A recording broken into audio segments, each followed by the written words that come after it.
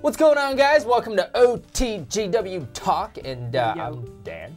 Felicia. Mia! We got a great discussion for you guys today. It's an often talked about discussion, very controversial, Yeah. and it's all about the one. Dun, dun, dun. So scary! You see this topic in the news all the, I mean not in the news, in uh, on the internet all the time and it's always in shows and movies and it's always this portrayal of the one and only person for you, the soulmate, somebody that mm-hmm. you're supposed to fall in love with and spend the rest of your life with and you're going to have Yeah, like that one person that just gets you, that they're perfect, they fit into all the criteria that you're looking for. Mm-hmm. Um, and today we're here to kind of talk about that. Talk about whether we think that's actually something that is realistic or not and why. So this is a great example because here we have three people and we've mm-hmm. all been in relationships, currently are in some. And Mia, can we, you know, you're single, right? And we don't want to single you out here, but You're singling me out. what is your current definition of the one? So okay, I believe that the one exists. You know, as in in Chinese culture, you have this theory of red strings of fate. You're you're connected to this other person that you're supposed to spend the rest of your life Like a with. predetermined relationship in a way. yeah, yeah, kind of like your soulmate or whatever. Mm-hmm. You know, I, I kind of I believe in that concept. But it's okay, going to be a lot of work. Say you were in a relationship, how would you determine, or would you try to determine whether that person was the one? I still don't know the answer to that. I don't know. How do you know if he's the one? Because I've asked my friend about this before, actually. And then my friend was just like, oh, you'll know. Anyone who said that, that's like a very redundant statement. It's like you're not offering anything of any help. Thanks, friend. You're not making anyone like. Did that make you feel better? no. Like, you'll Actually, know. that made me feel worse because I'm Yeah. like, okay, but, but I still don't know, Like, you know? Question mark? Question mark? Question Yeah. mark. Yeah. Also, right now, though, timing is very important. Okay. Like where you are in your life, where that other person are in their life. Oh, what is your My concept, right? What is your concept? My concept of the one is somebody that you meet and you marry and you have this lifelong journey with. And the journey is not always good. Hmm. Right, but that's already assuming you found them. So then the Right. journey is there, right? But uh-huh. beforehand, it's the searching process. What is your concept of the searching process of the one? So, And what is it? All right, I'm gonna- does it exist? yeah, I'm gonna tell you something. Okay. So, my belief is you don't find the one, the one finds you. What? You cannot stop trying to find the one. You will not find the one because you're like, I'm looking, I'm looking. And then when you look, you have this set of criteria. And then they don't fit the criteria. So you break up or you go you're going out and then you're like, oh, this is the one. And something happens and you break up. So it wasn't the one. So you're saying that you're just going in with low expectations. It's not quite low expectations. It's like you should have a pre sort of checklist, and everyone has a different one, right? You have to go through experiences. You can't just be like, oh, he's the one. You have to go through some bad times. Yeah, see, I would say like I wouldn't even go into it with a checklist. I feel like you should approach relate or new relationships with a standard. So there's certain things that you would want from that person, right? And it's not like a checklist of he must be tall, he must look like this, but it's more the principles that rule him type Right. of thing. And then His you can values. yeah, his values. So those things are like first. Any potential person can be the one. So if you think about it, you're in one relationship and you break up for whatever reason, right? Uh -huh. And at that point when you were in that relationship, you thought they were the one. That's why you're with them. okay. Right? And then something happens that proves that okay, something's not working. And then you move on. And then so each time you move to a new person, they present a new set of personalities, a new set of points that either you learn from or that you will compromise with. Like a new And set then- of challenges. for you. Exactly. So it's a new dynamic each and every time that you find someone new. Mm-hmm. So it's like kind of a constantly evolving and revolving process. But wait, I got a question though. What if what if at first you're like smitten by the guy and you're Yeah. like, wow, I could I want to change myself for him and I want to do this and that. But then later you're like, nah, I don't want to do it anymore. Then, he's not the one. No, because if you're constantly willing to compromise and evolve with that person and they do vice versa, then it's like an ever growing relationship. Mm. And so your relationship will reach, will keep climbing like the Keep maturity growing, level. yeah, exactly, Right? And you'll keep breaking through certain relationship walls that Mm-hmm. you can't with another person. Or you Yep. couldn't get through with your ex, Yeah. or whatever. So and they like, become the one. yeah, At one point or another, that infatuation will die out. So Yeah. how do you maintain the Ah. relationship without that? You came to the right place. Did I? Here's, here's the problem. We're all conditioned to feel like that infatuation is good. Hmm. And we read all these things and we see all, all our friends because they're in that phase. They're like, oh my gosh, you got, I got the butterflies. Okay, but you do Okay. feel those things at the beginning. Because Yes. you're, yeah, you're- it isn't that necessary. But Yeah, it's a different butterfly. All right, let me backtrack real quick. I don't mean butterf like you shouldn't have butterflies that like nervous, like positive electric energy. That's not what I'm saying. You should be excited to see that person, right? It- it- otherwise, like, why are you even dating that person? Mm-hmm. But don't be blinded because at first they can do nothing wrong. Mm-hmm. Then the things that they do wrong, you start to see it, and that's when you're like questioning, er, is this the one? Is this not the one? And I think a lot of the time in the infatuation stage, it's because we're kind of expecting things to be done, right? Mm-hmm. So you're expecting him to woo you, to pay for things, to take you on dates. And then when that infatuation blows out, they're expecting too much and not appreciating enough. Right. So they're expecting here, but only the like delivery of a normal person is here. Right. So, like, I want a question for you. Like, in the past, when you decided that person's not the one, why did you decide that? This is getting too Oh, it's personal. Okay, maybe think about on a general sense. Like, was it something that, looking back on, you would you could do a little different? Okay, there are a few factors in my case. I don't know how true this is for other people. It was something like values and principles when you have two different sets of values. Mm. absolutely. Then you're just two very different people. I think in a lot of people's cases also there's the distance effect. Mm. Yeah. What if that person moves away to a faraway country? That's that's that is a wild card, right? If you Yeah. just meet someone and all of a sudden it's like, oh, we just met. Yeah. And then now we have to be apart. So how do you build that relationship? Yeah.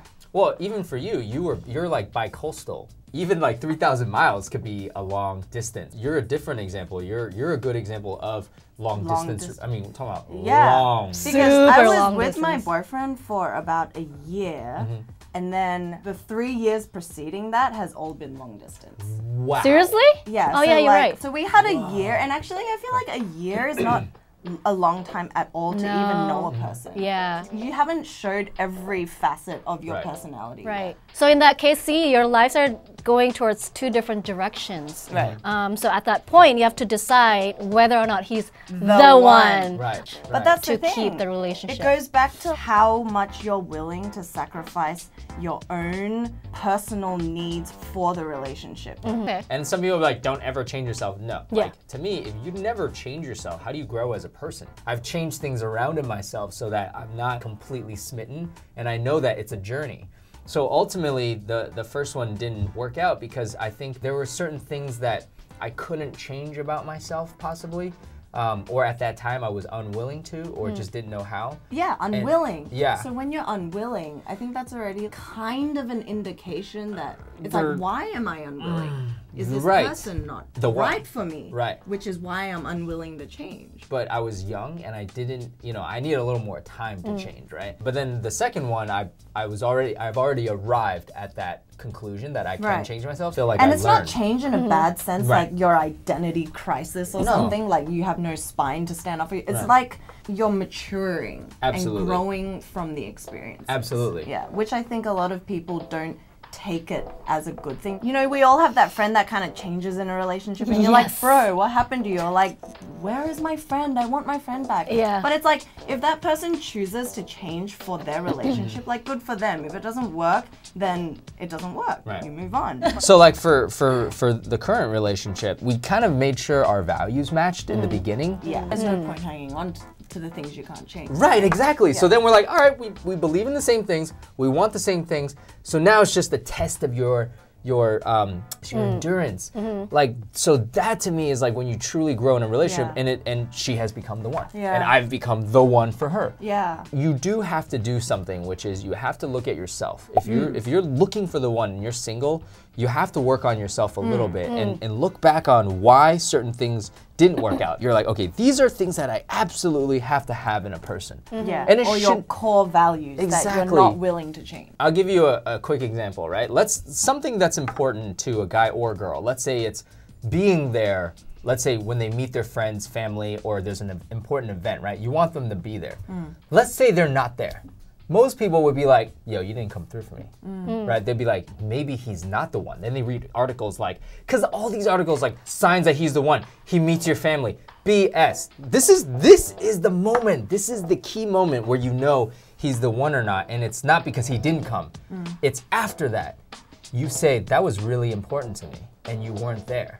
And then how do you proceed? Exactly. If he's like, Oh, like, that's a I'm- good point. If he's like, I'm, s- I'm, we all make mistakes. If Yeah. he's like, I didn't realize because we didn't communicate that, and, Yeah. and I will be there. But then, let's say next time he isn't, then like two, three times after that, then you could be like, you know what? I've tried. This is something where it's not. Then maybe he's not the one. But if he, but if he changes the next time, or even is like willing to change, Yeah. Mhm. why can't like? Then you're like, wow, holy crap! This guy is showing that he's he wants to put in the Willing to time. change. So then he might yeah. just be the one. Because And if it keeps stacking up, like you know, you come across tribulations, Upon and if you can get through that and grow from it and move forward, then it keeps climbing. Exactly. Right? And also, I think you kind of have to like be in the mindset of totally devoted to your relationship, right? Because I think a lot of the time people is like, oh, I can get something better if you, Yes. you're not willing to change. Yeah. Right. So why Yeah. would I want to do that? Or they'll friends will be telling you that, you know, you should you deserve better. Uh-huh. You Yeah. should be happy. Because if you think about it, like compatibility,